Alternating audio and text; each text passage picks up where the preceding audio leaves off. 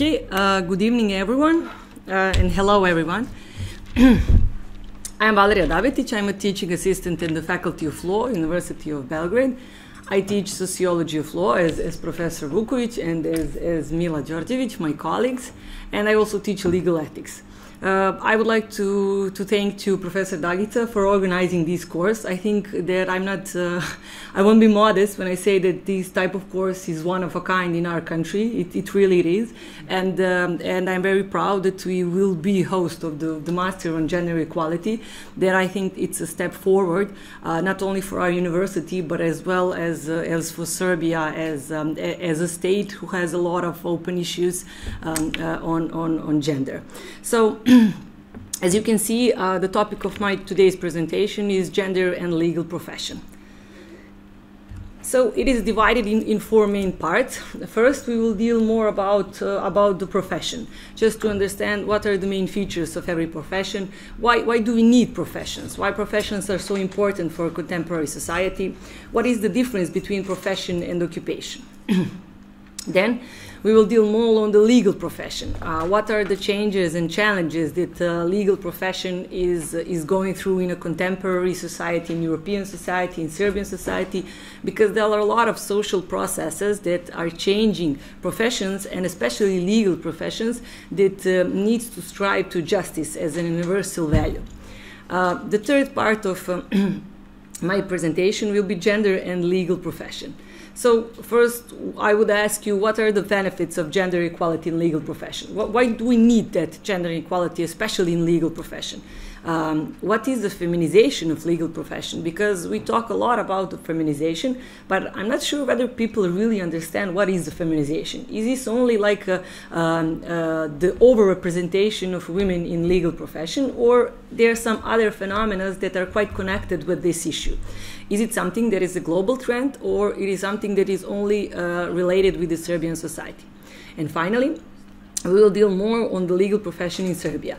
I would just uh, like a, a may, may, uh, make um, make a small um, a small comments on uh, law professors, on lawyers, uh, and I will deal more about the judges in Serbia because this was part of my research and part of my PhD thesis.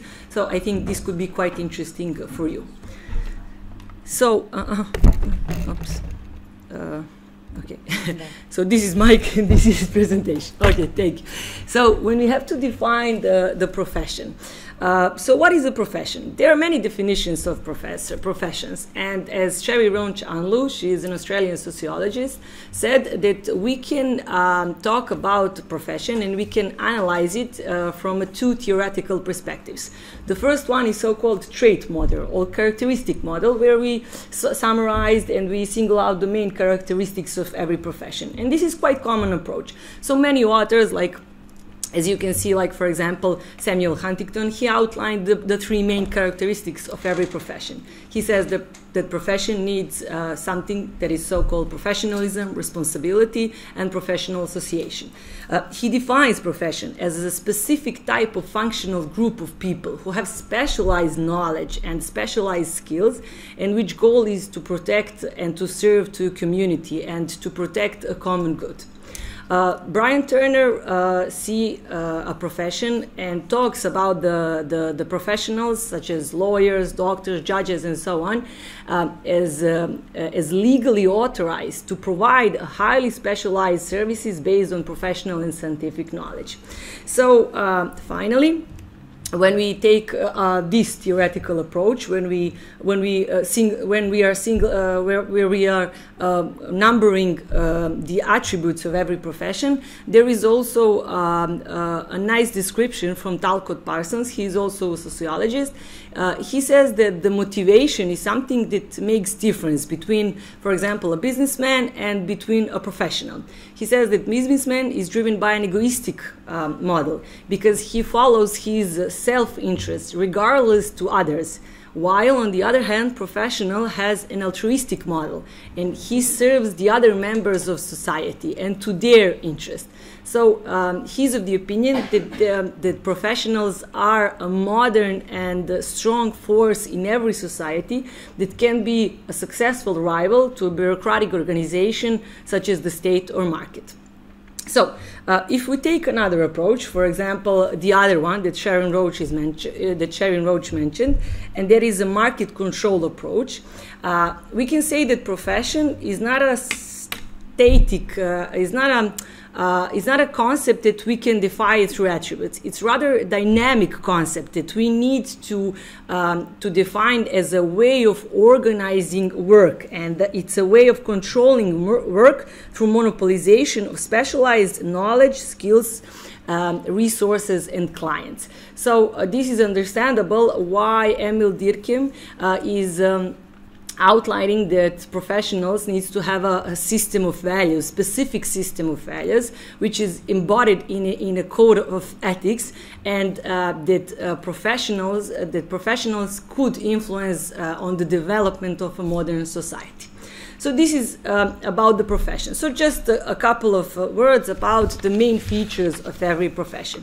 As I mentioned, like uh, there are a lot of opinions on what are the main features, but I single out three. So first one is professionalism.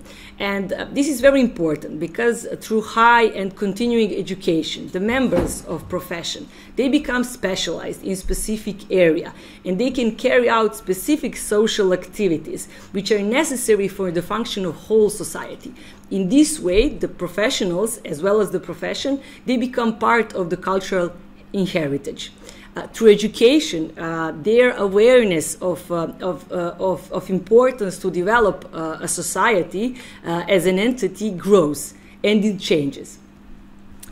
When we talk about the responsibility, it is important to, to, to just to memorize and to be aware that professionals have specific knowledge, specific skills, and um, uh, they, uh, they use these specific skills and knowledge to provide services in different uh, fields of society, such as education, health, uh, science, law, so on. So, if you think a little bit broadly, you will understand that in, um, in some way, the clients of every professional is society in some way. And finally, uh, we have to be aware that uh, that professionals uh, belongs to a group, to a specific association. You can take uh, any profession, for example, is it lawyers, um, judges, or doctors? They have their community, they have their uh, association. Um, uh, the the main role of association is not only the monopolization of knowledge, but also they issue license for work, and they also make and they are developing the sense of unity uh, so the professionals see themselves as a specific group in relation to lay people or, or to the members of others' profession. Also, it is very important that professions, uh, that professionals uh, are. Um, defending the professions between themselves to be aware when some other professionals are uh, are not respecting the values and uh, the rules that have been um, uh, implemented before so this is just a little bit uh, about the profession. And just shortly, just to make the dif- difference between profession and occupation. Uh, there is a lot of opinions in literature. You, you will see that um, some authors do not make any difference. They use these words as a synonymous, uh, but there, there is a difference in a way that maybe you can see more on, on, on, on this, on this chart. For example, um, I can say that I, I, finished law school. I have a degree in law. I graduated here, and I teach uh, sociology of law, and I'm a professor. Um, in this way, I could say that my profession and my occupation are the same. But for example, if one day I decided to go on a long trip on a seaside and uh, to do some to work as a waitress uh, or in Greece, I could say that my profession is uh, a lawyer. I finished law, but my occupa- occupation currently is waitress. But uh, what is the, the, the, the basic difference? Uh, the main difference is that um, for uh, to become a part of any profession, we need like a, uh, a, long formal education at the university or any other institution um, uh, that that provides special knowledge and that has a state license for work also uh, being a professional this requires a, a, level of creativity. Um, uh, i need a code of ethics. I need the system of values. Um, uh, professionals are also autonomous in performing their, their work. Um, uh, uh-huh. Nemanja, yeah. Quick one. How do we translate it on Serbian? Aha, profesija i zanimanje i zanat, to su neka tri ovaj, različita. Znači, šta je moje zanimanje, šta je moja profesija, šta sam ja po vokaciji. Po profesiji i po vokaciji sam pravnica i to se poklapa s mojim zanimanjem u ovom trenutku, a jednog dana to ne mora da se poklopi ako odlučim da se nečim drugim bavim. Ovde je samo da podignemo nivo toga zašto se razlikuju oni koji su visoko obrazovani, oni koji završavaju fakultete i kako su oni važni da održe društvo. Gde je taj odnos tu između države i tržišta. Zapravo profesije su te koje održavaju taj prostor između države i tržišta u okviru tog građanskog društva, kao nosioci i pokretači nekih promena. Je li okej? Okay? Uh, da. Eh. Uh, yeah, so uh, now I explained it. so yeah, maybe we can skip it. So basically, like professionals are not only motivated with the financial reward; it's also like an uh, idealistic motive. We have like um, uh, we serve to ideals, to, to values. You know, it's not it's not only a salary; it's more than that. So uh, yeah, I mean, it should be like that. yes. So, uh, what are the legal professions? So, we're a little bit closer to our subject. So, when we just, talk. Just, uh, yes, of course. Yes. I think that in this defining, we should also include differentiation. So there, uh, all we cannot say that, uh, normatively speaking, all of these positive uh, dimensions should be part of intellectual professional person but there are differences. Some really include also ethical approach into their professional uh, profile and the others no not. So and uh, the matter of responsibility. Responsibility for example for societal values for political orientations for different things. So they're a little bit more less generalization and a little bit more differentiation from the point of value orientations, I think that would be good to, to be included. Okay, yeah, thank you, thank you, Professor Dragica. Uh, maybe now, when we talk more about legal profession, we can uh, like uh, yes. yes, yeah. Okay, so this was like overall about the, the, professions, and now what about the legal profession? So, uh, I mean, as, as any other theoretical concept in sociology, uh, also the concept of legal profession could be analyzed from different theoretical perspectives. So we have like uh, Matthew Deflem. Uh, he's um, he's dealing with the sociology of law, um, an author, and he says that the legal profession is a set of professional roles such as judges, lawyers, prosecutors, legal advisors, law professors, and so on, who are focused on maintaining a legal system which is important to all members of society who are also the legal subjects. In other words, he sees that there is like a, um, a, one uh, one legal profession. He's not making like a um, uh, differences between uh, like the, the different professional roles. But on the other hand, we have another author, also sociologist, Kitty Calavita. She's dealing a lot with uh, with the lawyers in uh, common law system, especially in American society, and uh, she uh, she's aware that the differences between um, uh, between uh, like um, uh, between law firms who, who is working for big corporations and whose clients are very powerful uh, on the market and they are mainly dealing with the commercial law uh, are are I mean, their, their, their salaries, their social position, uh, their um, prestige, um, um, everything uh, is quite different from the lawyers who are dealing with an individual clients, with the, with the regular lay member, lay people. So uh, the differences are quite obvious. This is the reason why she says that uh, we can say that there are more legal professions than one. Even when we talk about lawyers, we can say that uh, their role and social role, professional roles are quite different. So finally, uh, when we talk about, uh, uh, I mean, like the, the specific um, uh, social context, like in Serbia, we use the term pravnik to define the person who graduated uh, in the faculty of law, who, who acquired legal education and specific qualification to engage in a specific legal profession. This person uh, also uh, needs to be qualified and take other qualification in, in the court, law office, prosecutor office, and so on. So these are the things uh, why uh, we use the term uh, pravnik just uh, for an overall to, to address the, the, the different, to address like someone who finished faculty of law, but, but we make difference between legal professions. So we make uh, like more differences than the other authors. So uh, legal profession as as uh, as uh, as other profession is going through different uh, different changes. We can say that contemporary world is is changing uh, every day that uh, we are facing these changes and we are feeling these changes uh, in in every part of our life. So i just pointed out like the three main processes and the first one is globalization spe- specifically economic globalization we, global, we define globalization as a process uh, of uh, economic, political, and cultural interchange and interdependence uh, between, um, between people, between um, uh, states uh, in every sphere of life, uh, from, from criminal to health to law to science and so on. there isn't any part of our life that hasn't been touched by economic globalization.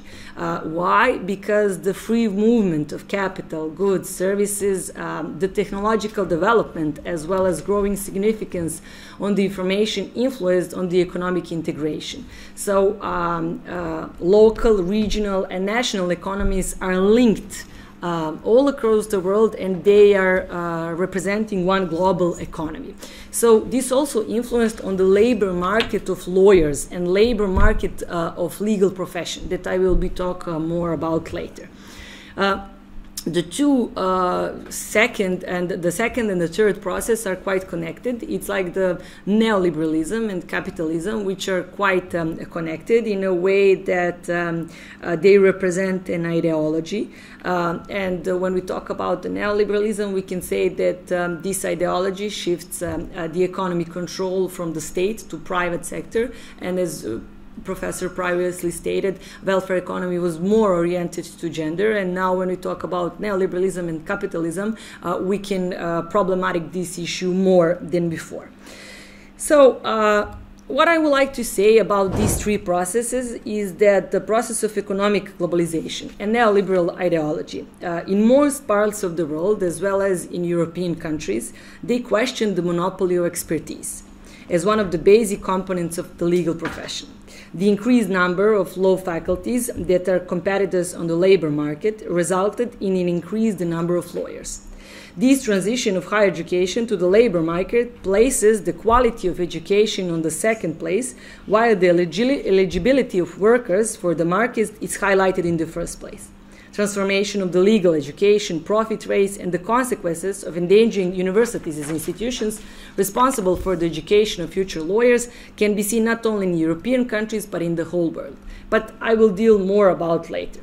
So, finally, we are coming to uh, the part that we will talk more about today is the, the challenges and the changes of the legal profession in the contemporary science society. So I single out uh, only six that, uh, in the opinion of Sharon Chanlo, and I share her opinion, are maybe like the most obvious and most important, but they're quite interlinked with the others. So today we are only dealing with the second one, that the proportion of women lawyers grows every day, um, and we will talk more about the representation of women in legal profession.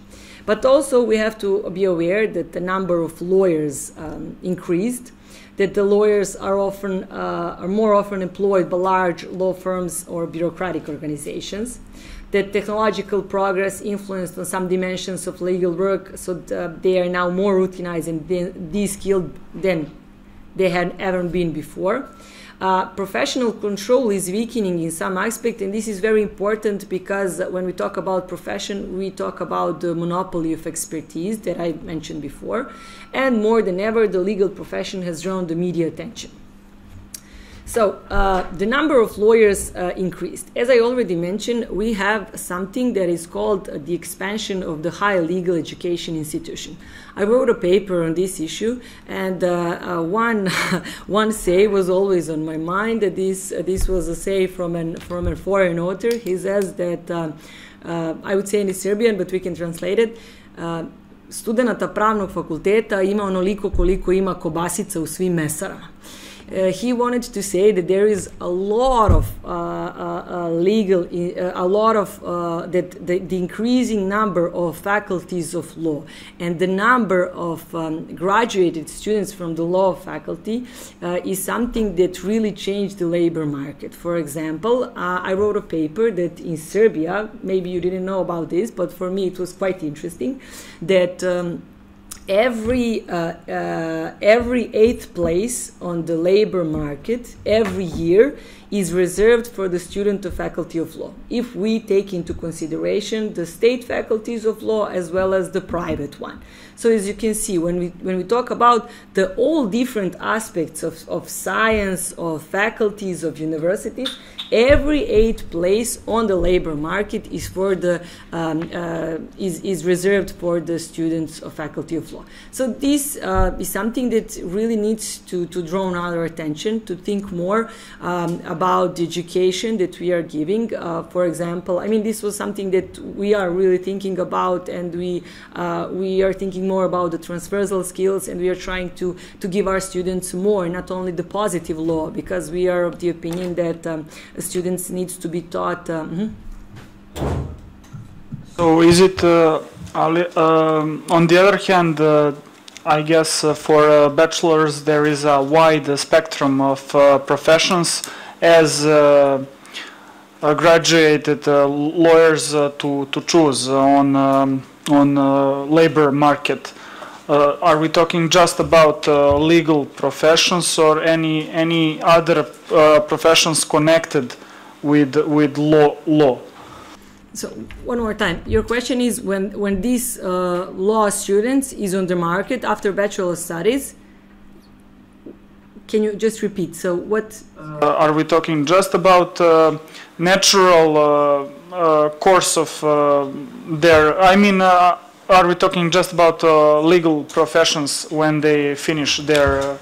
yeah, yeah, so uh, what is an issue? Because uh, when you have so many students coming from faculties of law uh, the labor market cannot uh, i mean there is not enough places for them in the traditional legal profession. So, for example, I think that this is your question. So, yeah, th- this is a problem because, for example, in in courts, uh, maybe professor wants to add something. Ah, okay. Okay, yeah, it's okay. Um, so, for example, you have um, uh, um. We have, we have limited. A, you have limited number uh, of uh, law graduates who, who can be um, accepted, for example, to be part of the court. You have limited number to be part of the faculties of law, um, uh, to be in other, for example, maybe only the lawyers, there isn't any um, like limitation formal limitation, but now there is a lot of non-formal and informal limitation. So this is a, a problem because the expansion of legal uh, uh, of, of, law institutions and uh, faculties of law and the, the, number of law students who are increasing, uh, they cannot take part in traditional um, legal professions. So this is just something that, that is, is going on and that we as institution have to think about more just to educate our students uh, on, on other on other trans transversal skills and, and competences because they are not only skilled for um, a classical legal profession. Yeah. Okay, so um, if I got it right, uh, uh, the complexity of modern capitalism, the new functions in the society, uh, in our case, the liberalization, transformation from socialism to capitalism, and development of the economy have all contributed on one hand to a more demand for lawyers and therefore there are more law, graduates right? On the other hand there is a strong push in modern societies to have more highly educated people. And previously the work that has been done by clerks with high schools is now done by lawyers. For instance in human resources here in the faculty. 40 years ago that would be done by a high school graduate, now a lawyer. And this is, if I'm getting right, these are the social processes that lead to a more demand for legal students and more higher enrollment rates. And so I'm just trying to, you know, speed up and uh, ask you to get closer to the issue of gender within legal profession. And, and if more people enroll, more women will enroll, combined with the emancipation. So no. Okay. Yes, I will speed up. Yeah, but um, yes, thank you. Uh, this is not an always issue. I will talk more about because uh, these assumption. For example, today uh, legal professions uh, legal professions can change a lot because um, historically analyzed, uh, legal profession were predominantly male, uh, but um, today, like half of law graduates are female. We have that representation of women, but the assumption that if there is uh, half women uh, uh, law graduate students, that there will be half of them in legal profession is not always correct as well that is not correct that uh, the assumption that if there is a, um, a, half women in legal profession that half of them will be in the in the hierarchical position. So this is something okay so then i will skip a lot because i just thought i have more time. So okay the proportion of women women lawyers grows every day. Uh, so this is something that i that i already mentioned that like the proportion of women and representation of women is is growing every day. Uh, but um, professions are now more open to women but there are a lot of barriers barriers and many difficulties that our women are still confronted with. And one of my team for discussion is the barriers uh, for women to entering into profession. I outlined a couple of them, but I would like to hear more from you. So. Um, Women are more likely to experience sexual harassment. Some of the employers do not encourage maternity leave. There is something so-called maternity wall. Women will more frequently have less paid jobs. Uh, Mila already stated that. Women are usually paid less for the same job, so on. And something what is very interesting that I also prepared for discussion is that Professor already stated before is that um, uh, there is a culture so-called uh, think leader, think male, and um, this is the, the question of leadership because uh, uh male leadership is not the only way uh, to being lead some type of organization because there is also something that is so-called female leadership. There is different type of leadership. There is something so-called human leadership. So I will skip the other changes can of. I, can I also yes, sure. just uh, bring you back to very good two questions with which you started. Uh-huh.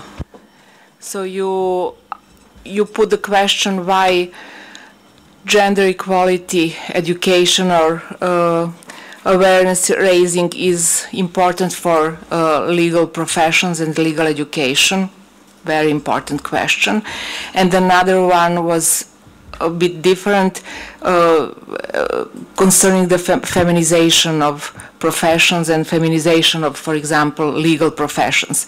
That speaks more about sociological, empirical, and then uh, e uh, explaining of that as feminization always means un, uh, uh, loosening the value. So it has that negative context.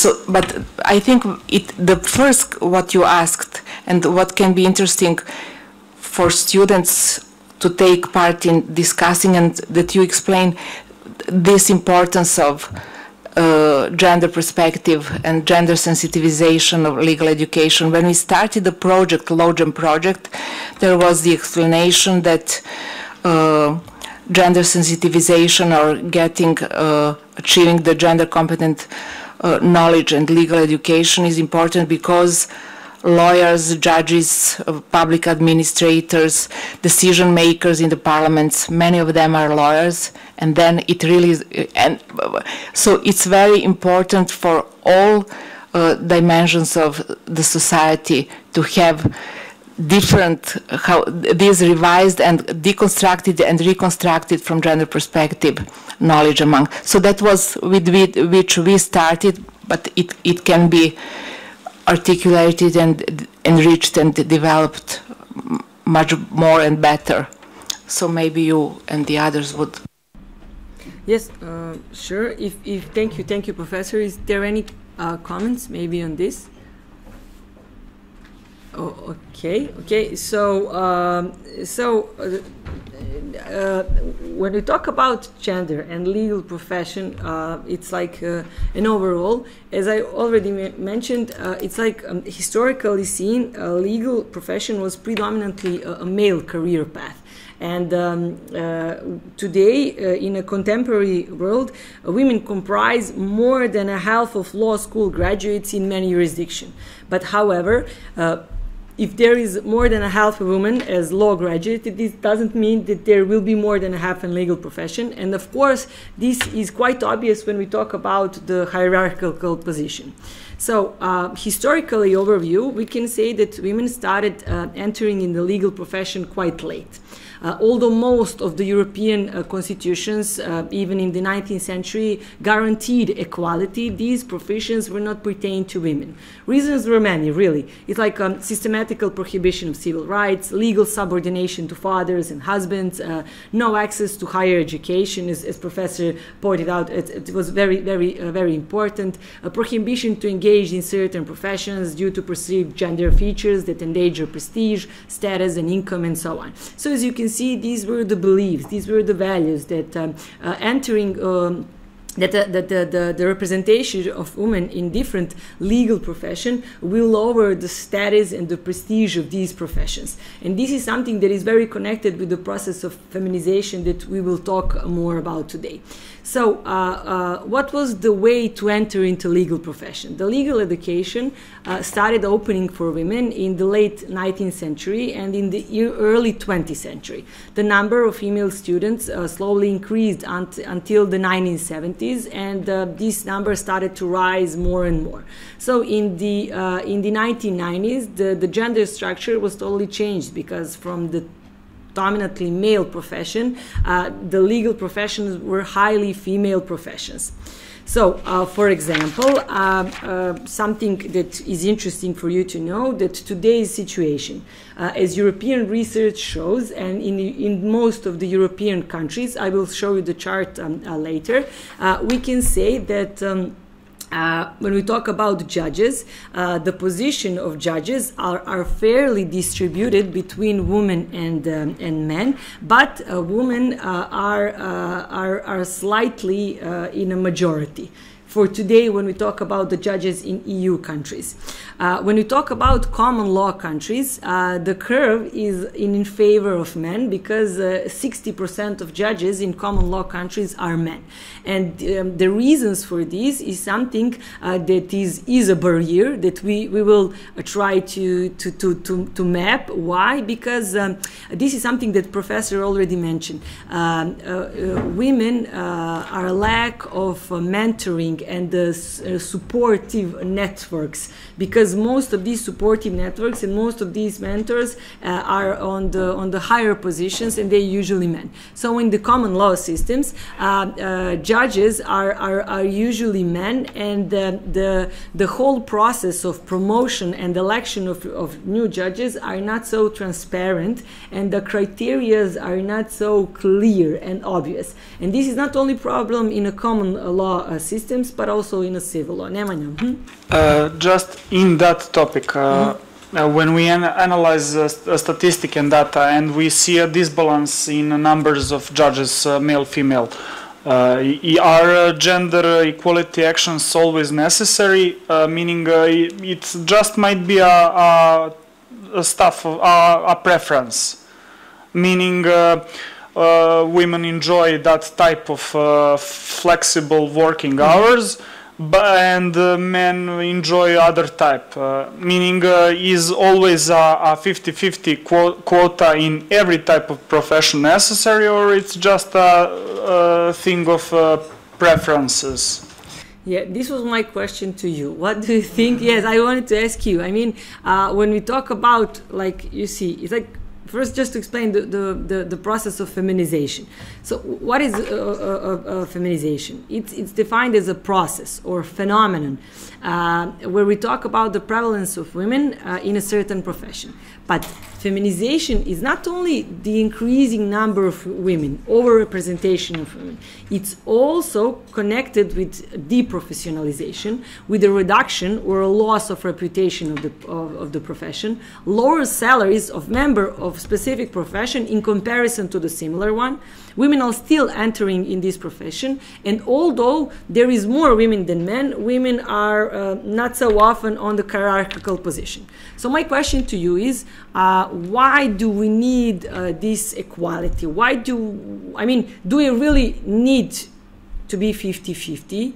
Uh, why these processes are happening? I mean, and what is your opinion? I mean, I, I have like this is an answer. This is my opinion. What are the benefits of gender equality? I'm not sure whether and in the in which way we can just manage that in every single moment we have 50-50. I think that this is quite difficult and that this is uh, uh, very connected with the wider uh, social processes. But what is your opinion on, on this issue? In order in order to make a com compromise, maybe we should need a, qu- a gender quota, but on a bit uh, lower bar, uh, lower minimum level, I guess. Mm-hmm. And uh-huh. when do you think that the gender quota could be like positive discrimination? Uh, maybe professor to put, yeah, yeah, students and then professors. Okay, yes. Uh, so gender quota is is I'm okay with that. It's positive discrimination is good, but um, it is not stated when you have this gender quota on which positions are women placed. For example, we have in the Ministry of Interior this gender quota that women should be also represented and etc. But we see it in these uh, administrative uh, jobs.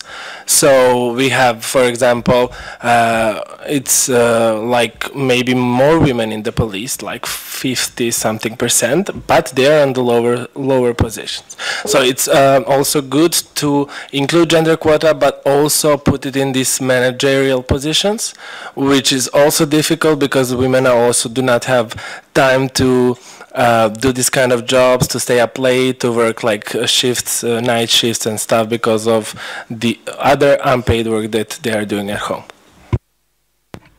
Yes, yes, and also uh, we have to think in both uh, and watch in both directions. So let's say uh, strict, okay, 30% women, and also let's say bar quota, and also let's say for men 30% bar quota. So. Uh, no, no, no, no, no. I'm just talking. That's an interesting point because it's an interesting point because you're saying we don't want overrepresentation of either men or women in a certain profession, right? But apart from quotas, as you rightly pointed out, some social structures also work in favor of or against feminization of profession. As you rightly said, um, uh, work-family balance is easily, more easily achieved if you're a judge in Serbia than if you're a lawyer, like advocate. Obviously. Then some contingencies occur. Uh, one of the large, one of the large, one of the factors that contributed to the shifting of the gender balance in legal professions in Serbia were 90s, when a lot, lot of men actually left the position of judges pursuing a more lucrative career as lawyers. I mean, simply as that. They were better paid. And 90s were, I mean, you don't remember 90s. It was difficult to live in 90s. I mean, basic, basically, you couldn't, you know, earn enough money to, to, to, to, to you know, feed your family or whatever. And then there are historical conditions and historical structures, ideological and historical structures. United States reached the gender balance um, in, in, uh, in uh, uh, law students um, uh, like 10 years ago, the one that we had like 30 years ago. So we were, in that sense, at least two decades in front of the USA, roughly speaking. Why? Because we had socialism socialism was a super emancipatory power in, in, in, our, in our country. And actually what socialism brought us is a giant leap from the 45, as you know more than I do, which was uh, in 45, 1945, we had an agrarian society, a small share of urban population, a small share of highly educated, and in just few decades, we had, you know, doubled up the, the, the whole society. So when we speak about feminizations of profession, it's, it's about quota, but it's also about the structures, other social structures that, that shape the way that professions evolve. Just that was just one point. No, yeah, yeah, sure. Uh, uh, I think Mila wanted to add something as well. Uh, yeah, I'm following uh, Danila.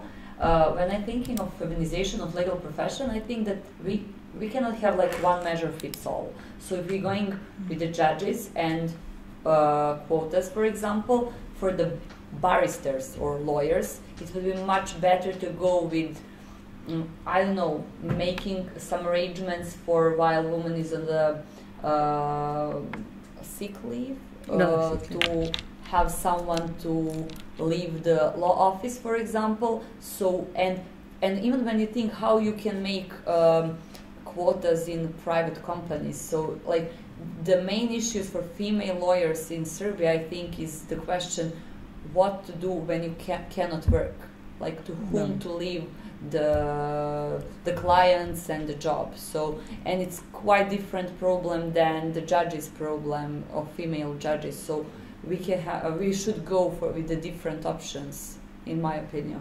Yeah, uh, definitely, definitely. I think that someone else um uh, is no, no one. The, I saw something in chat. No, I saw it was a question from Tiana. I wanted to.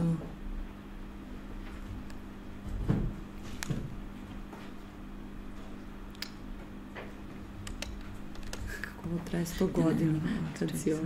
Ne, ne, evo ovako, samo ga ovako. A vidiš dugačko. A what is an area- area? Aha. So, da, da, evo. How many?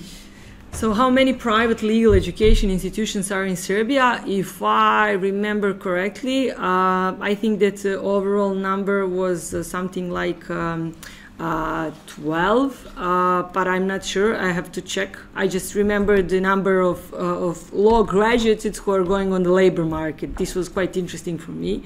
Uh, I can I can send you my paper to to to see more on this. And from uh, Sheriba as law uh, is an area that shapes society in general and has almost the last word, uh, it is particularly uh, important that this area should hold 50 50.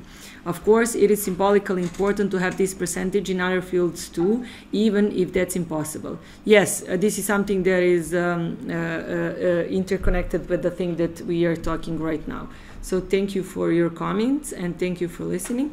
So uh, just uh, to, to, to finish what I, I have started, when we talk about the, uh, the EU countries, we can say that uh, when we talk, for example, about uh, the judges, um, and this you will see that this is something that is global trend. That's something that um, uh, is quite illustrative, more or less, for Serbia. So uh, that uh, female judges are, um, I mean, fairly distributed what uh, the judges are fairly distributed between women and male uh, but uh, women be, are being slightly in the majority when we talk about judges in the EU and also we have um, overrepresentation of women but in the courts of first instances so this is something that is also um, Yes, similar in Serbia.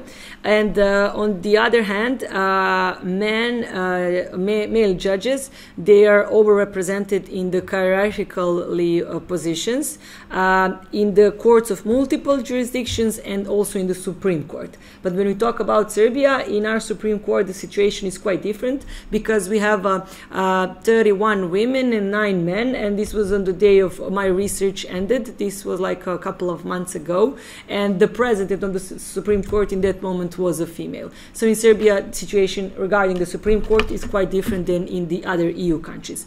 And also, something that is uh, similar in all EU countries as well in Serbia is that uh, the, the female um, non-judicial staff are m- overrepresented and the, the quota is uh, one to three so on every three non-judicial staff it, it goes only one man uh, and they're and they're less paid as well Okay, one, one question.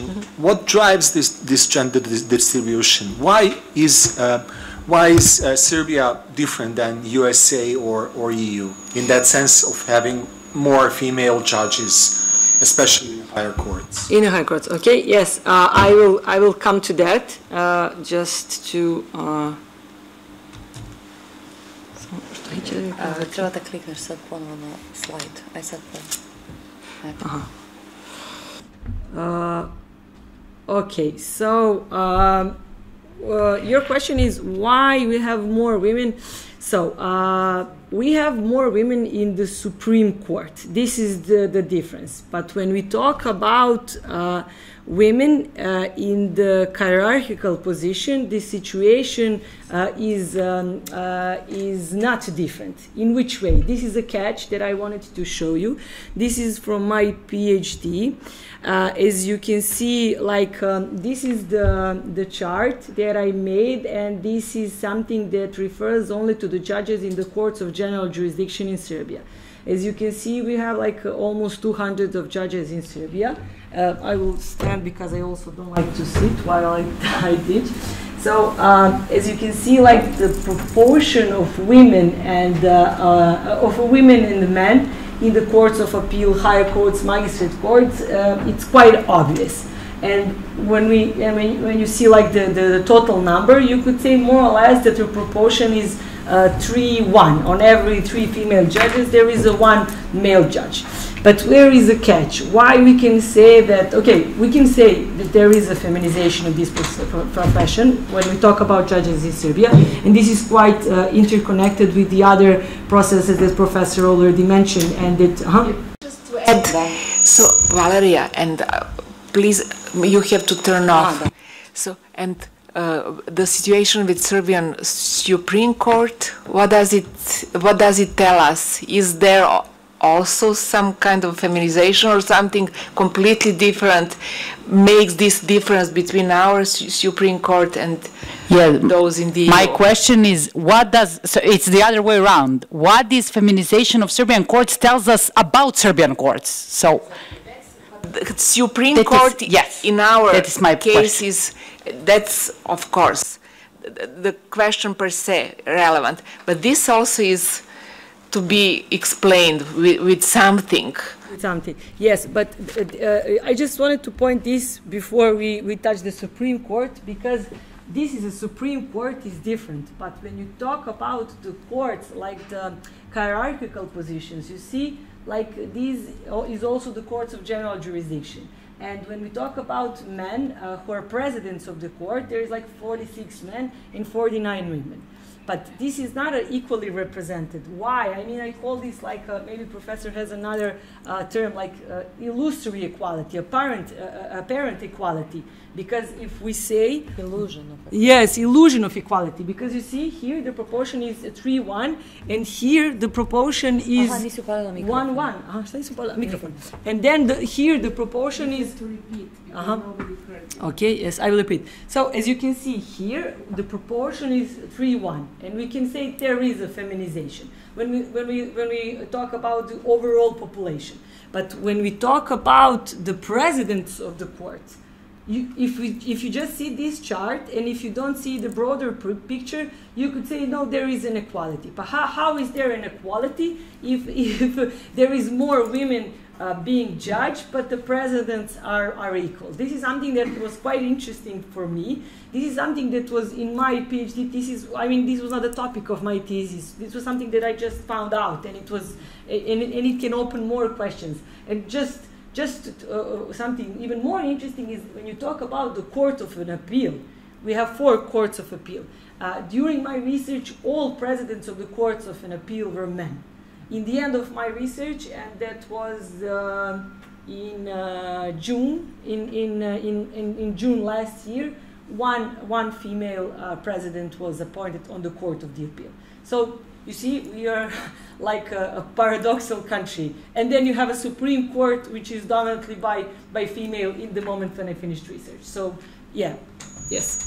Okay, so if we were to look for the systematic solution, we would claim that the feminization of the professions takes place, but apparently uh, it's not uh, the feminization of the hierarchy of the profession, right? The highest positions. And basically, it goes well with what we know about the professions is that there is an internal stratification of the profession. So the, the higher uh, layers of the profession often perform non-repetitive, more uh, uh, demandingly, professionally or intellectually demanding tasks that come with higher salaries and more prestige, right? And then there are lower parts of the profession.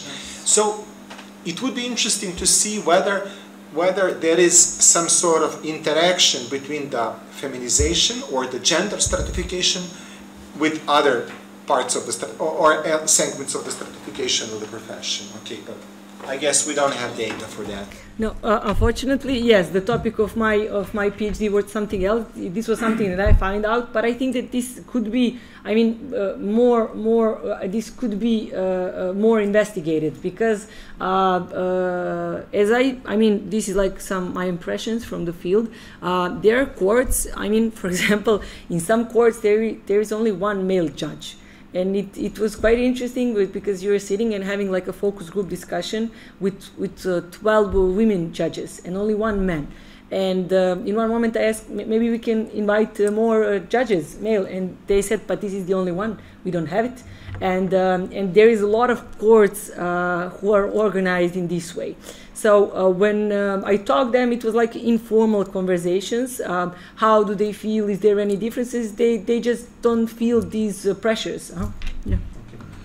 Uh, in Serbian judiciary, being a president of the court is not just a managerial position, it's the point where the political control of the judiciary takes place. That is what we know actually from various empirical researches. If somebody is to put a political pressure on a judge to perform a certain function or to do whatever he or she wants to do or should do, then it is the, the president of the court who will who will be a transmitter or the source of the pressure. So in that sense, I mean, uh, this actually means it's not just that, uh, you know there is an, an uh, equal distribution of when, men and women, but it might also mean that in a predominantly female profession, men control the profession, but also politically control or have a large share of in the political control of the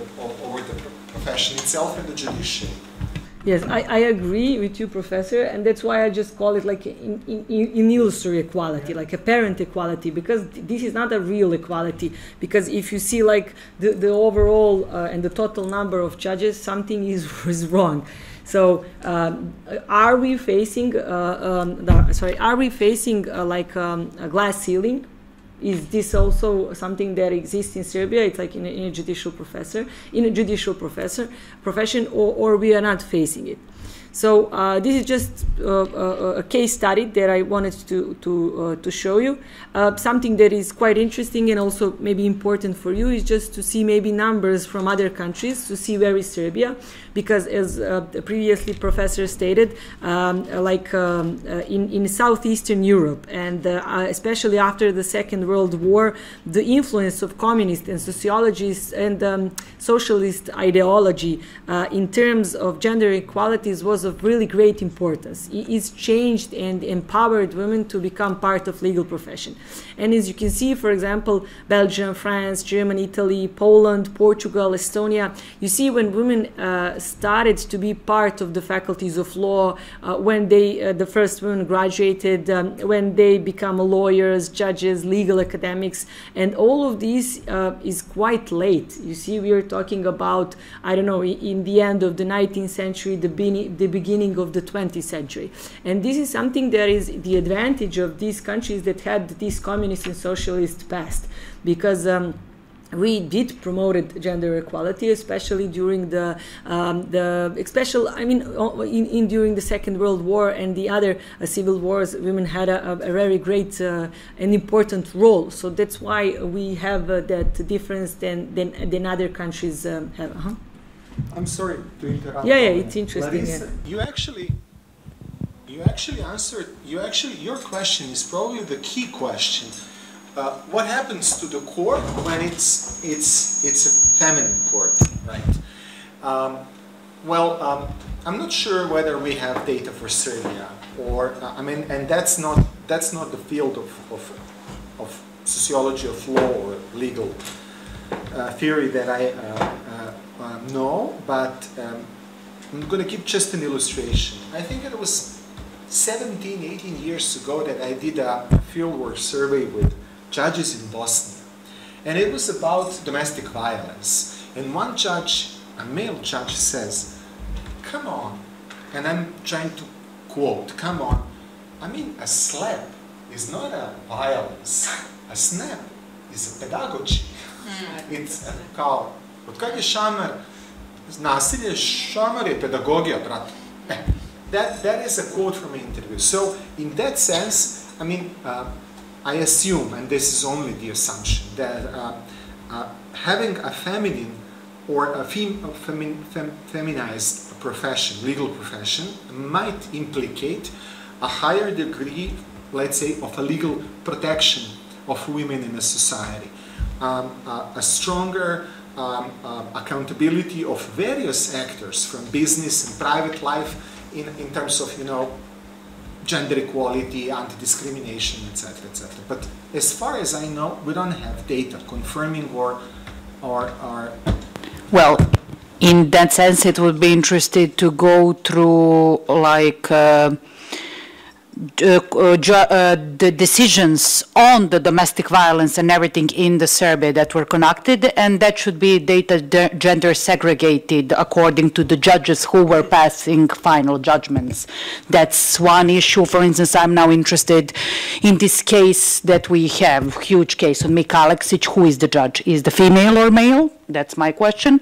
Yet another uh, another question is uh, when you, Professor, mentioned this uh, political pressure. I'm curious.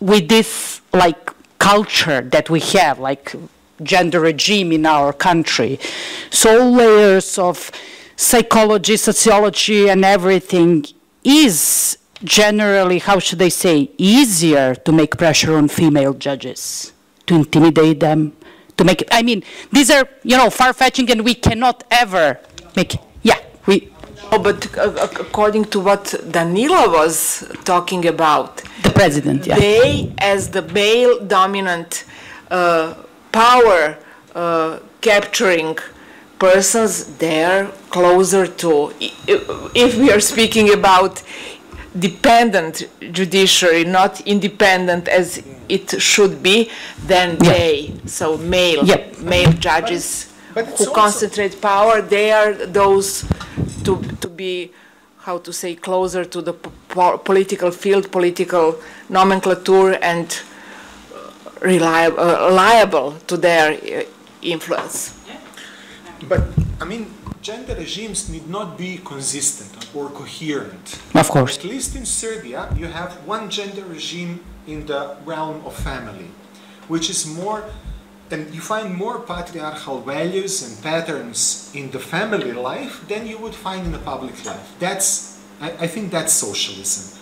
And, and, and as, as you see from this example, uh, gender, uh, gender regimes are in a sort of, as Dragica emphasized in our conversation, in a sort of dialectics. You have forces, emancipatory, emancipatory forces, conservative forces, and, and they struggle in between. And so, in that sense, I mean, in that sense, I forgot my point. but it's okay because it's nine o'clock. I mean, it's also. Yeah.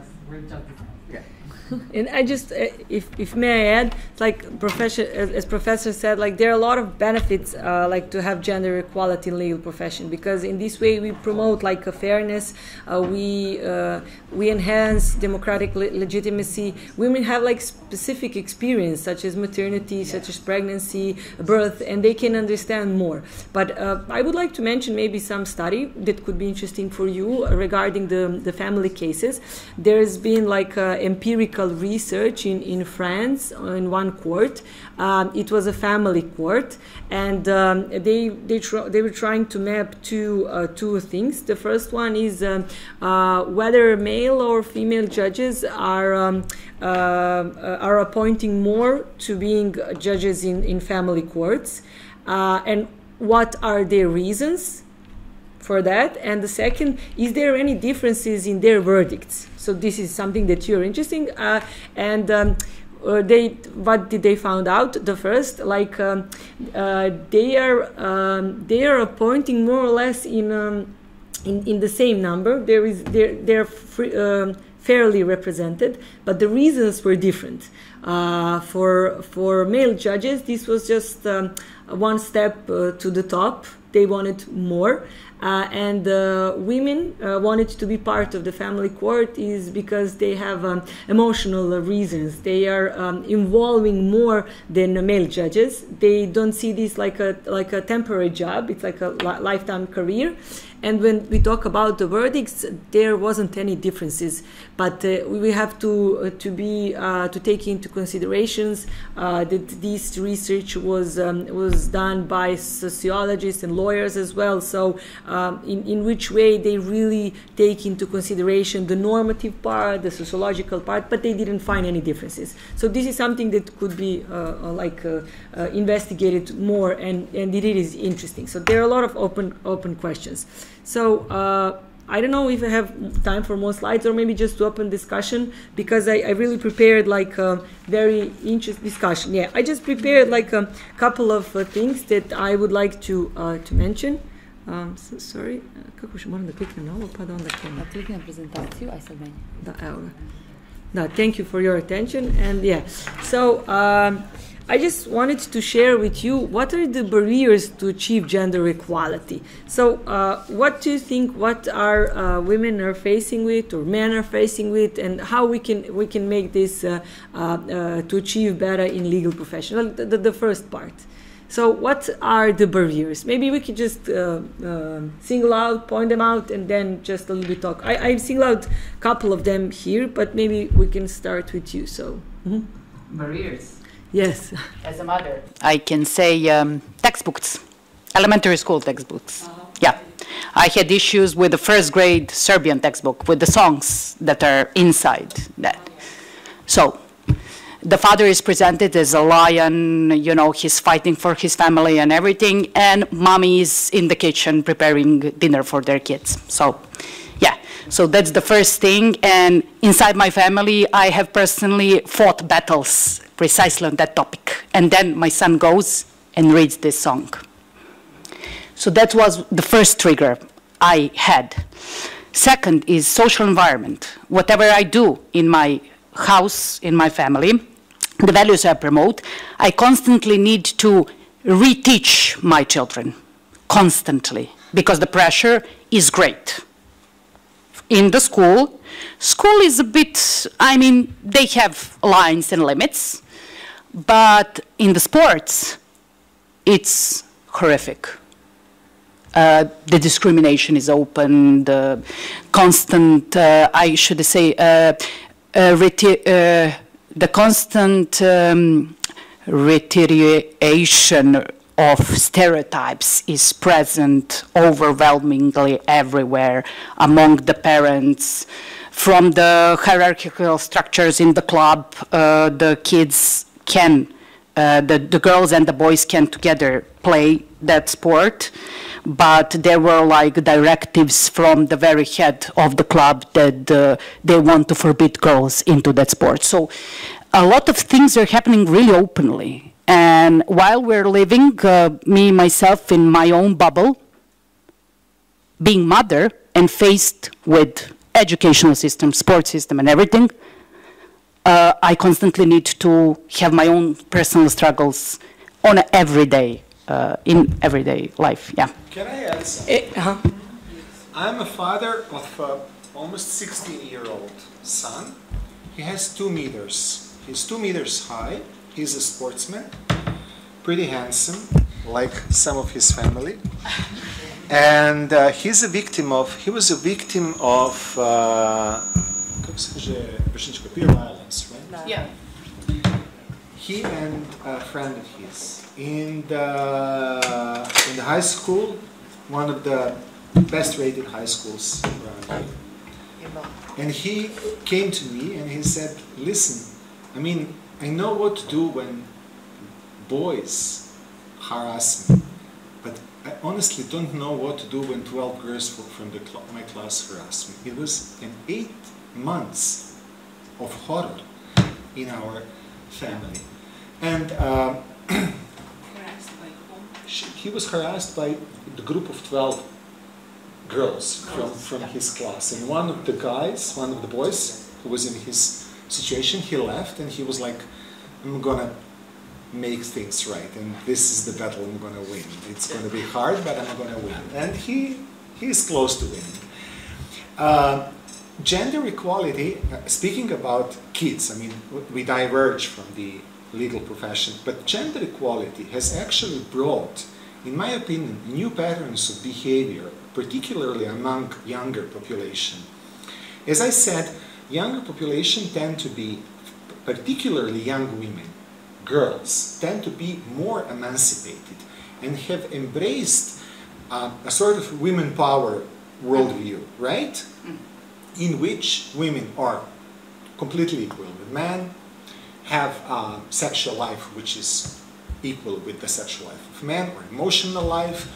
It's all the same for them. And that has actually resulted, I think, in, in a co completely new forms of social life and completely new forms of problems that we have not encountered yet. Yes. And I think in the future we're going to face with male insecurity. That's going to be a big issue, yeah.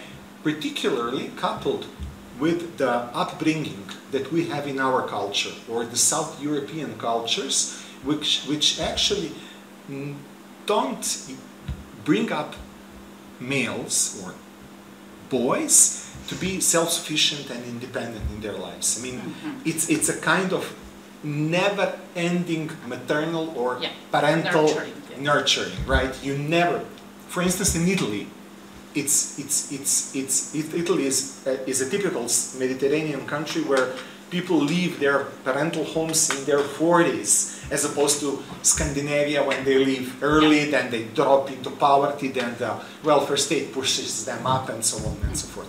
So, I mean, when we speak about these things, it's, I, I see an emergence of, of an elements of a completely new gender regime, particularly in, in the younger population and, and uh, uh, uh, uh, in these emotional or sexual dimensions of our lives, which are going to bring us a whole new set of questions that we as a society will need to answer. So let us think a bit differently. I'm not sure, but just let us think.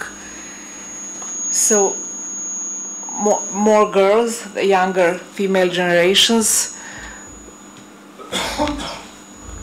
how to say, you,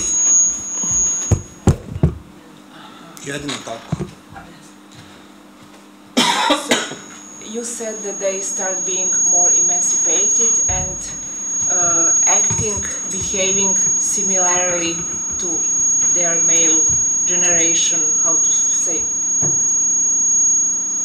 participants. I don't know how to say it.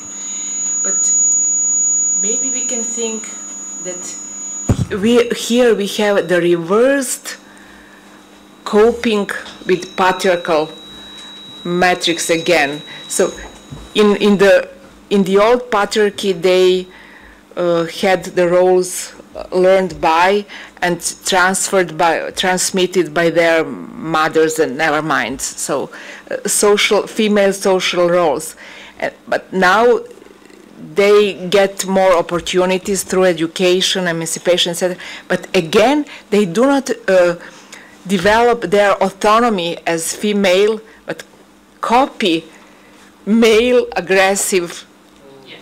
behavior so that's reversed patriarchal matrix. And in, in the case of uh, Uh, how you, you said the crisis of masculinity, again you, we have the reversed patriarchal matrix. We, we are not speak, talking about autonomous personalities of one and another gender. Power struggle again. Power struggle. Uh, again, power struggle. And so I think that you helped me to clarify this to me at, at this moment. Thank you very much. Uh, also, I want to thank Professor Danilo to mention this also uh, new perspective on how this affects also male uh, in this, especially in their teenage years or younger ages, also through education. And I want to mention this funny anecdote. A couple, like a month ago, I was with my friends at the Um, and I don't think these insecurities are will happen, and I think they are happening right now. Uh, for example, we were at the bar or ordering some cocktails, and uh, uh, my male friend uh, he asked for some cocktail I don't know and he um, the he got this like woman's glass and he was like uh, uh, I don't want to, uh, he was very insecure. He was very uh, ashamed that he was drinking from this espresso martini glass. So it was very obvious that also this affects not only women but also male teenagers, students, and like, uh, and also through this educational uh, system that uh, Larissa mentioned that also it starts from a really early age. For example, when you buy boy uh, to boys the soldiers, I now remember that I also had this kind of toys, and I now when I think about it, there is none of the female soldiers in that uh, toy. Also to uh, give uh, these kids a chance to choose what they want to. For example, I have also a nephew. This is all personal examples, which I'm now aware of.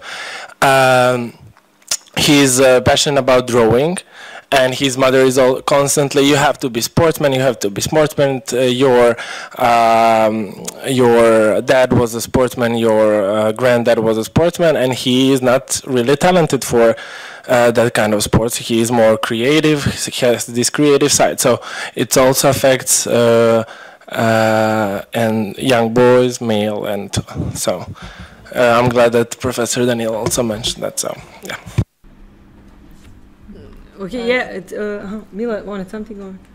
Uh, yeah, I just wanted to add one gender perspective which I wasn't aware until recently. So in America, there are studies regarding benevolent treatment in criminal courts uh, uh, by women. So when women are uh, are charged, they are usually not going to jail, and if they're going to jail, it's for the shorter period of time.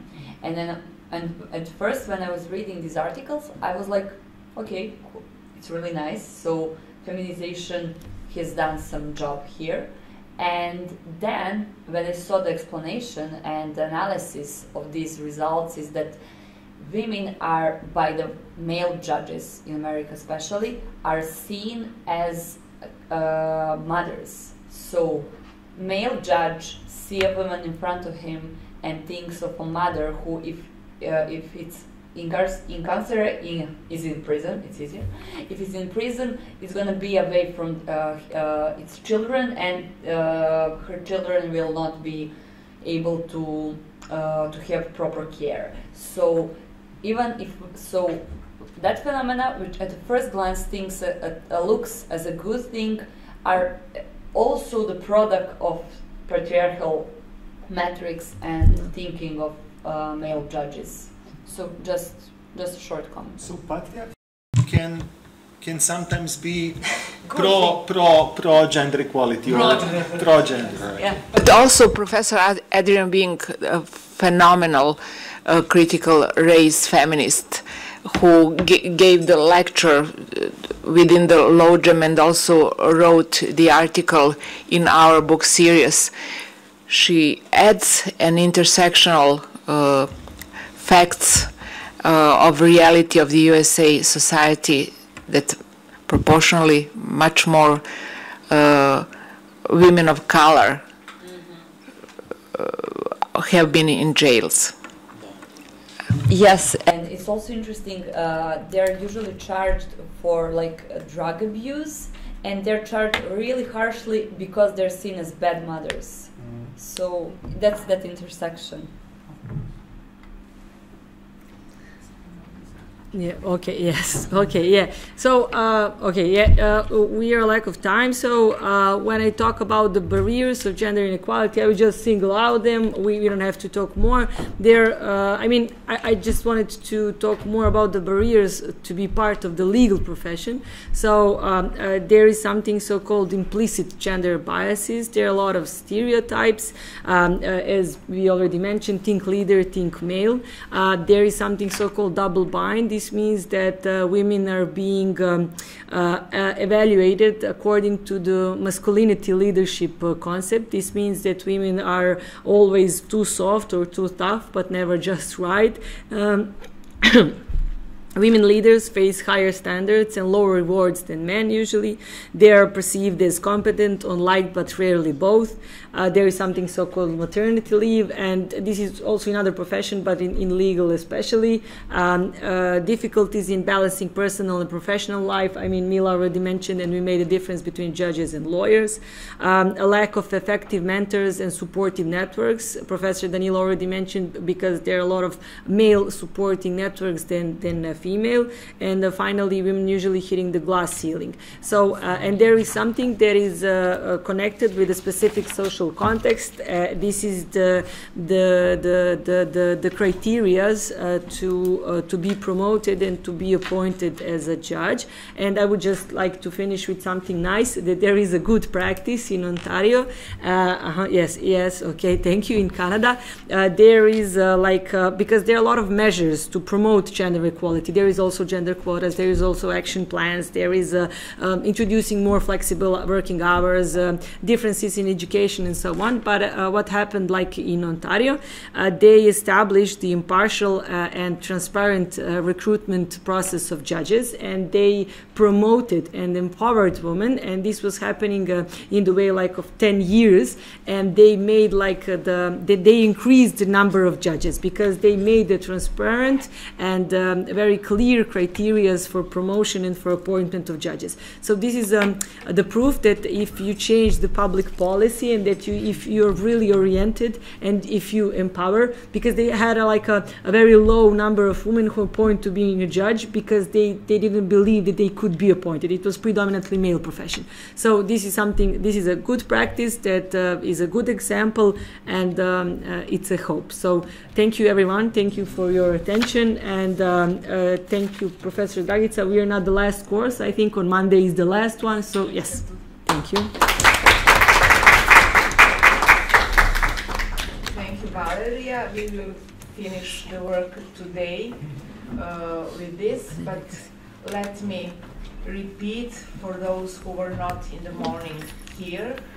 Uh, the last uh, working day will be Monday, but uh, uh, according to the revised agenda, one and a half lecture uh, related to the business law course will be held on Monday from 10:30 10:30 to 12.